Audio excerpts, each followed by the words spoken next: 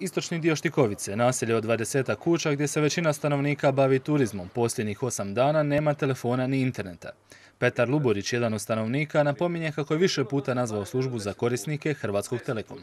Međutim, do današnjeg dana nije poduzet apsolutno ništa u cilju otklanjanja e, nastale poteškoće.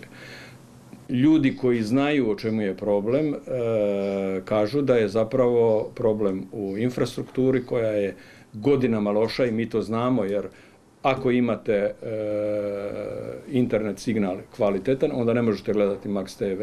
Ako vam se pojača signal za Max TV, ne možete gledati, ne možete otvarati brzo na internetu. Turisti koji borave u apartmanima žale se vlasnicima zbog nedostatka interneta koji je naveden u ponudi.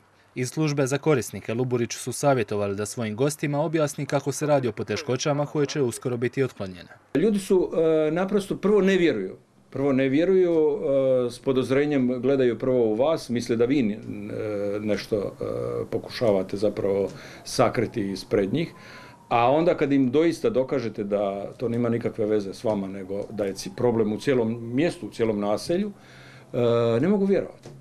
Naprosto ne mogu vjerovati da se to danas događa u Dubrovniku.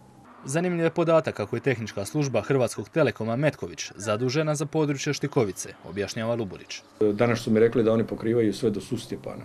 Iako smo ponovo govorim e, gradski kotar e, Dubrovnik. E, danas sam kontaktirao i tehničku službu u Metković. Oni su rekli da oni imaju prijavljeno određene smetnje u Štikovici, ali da oni u sljedećih par dana nemaju vremena izići na teren. Dakle, nemamo već osam dana i po onome kako sada stvari stoje nećemo imati ni sljedećih 4-5 dana. Luburić je obećano i smanjenje mjesečnog računa za onoliko dana koliko usluga interneta i telefona nije bila dostupna. Ali to ne rješava problem jer e, ponovno e, se vraćamo na početak da vi danas u 21. stoljeću nemate osnovnu e, mogućnost komunikacije sa svijetom iz Dubrovnika. Ja i dalje govorim da je Štikovica Dubrovnik.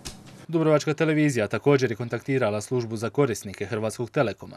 Obećano nam je službeno priopćenje u kojem bi trebali biti odgovori na sva pitanja postavljena u ovom prilogu, no ono do emitiranja današnjih vijesti nije stiglo.